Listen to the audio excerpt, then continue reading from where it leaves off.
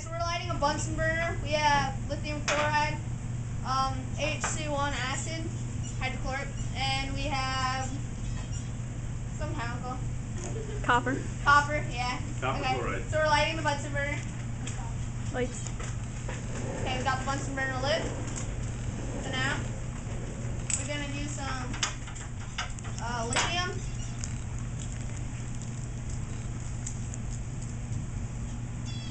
And it burns red. Ooh!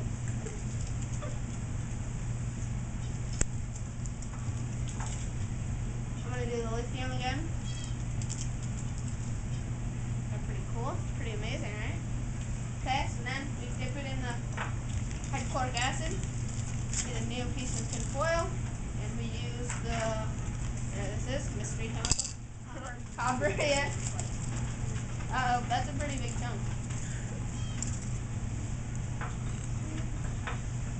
And we use some copper. Isn't that pretty cool?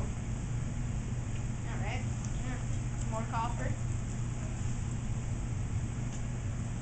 So, yeah. That's our presentation. That's our presentation. Woo!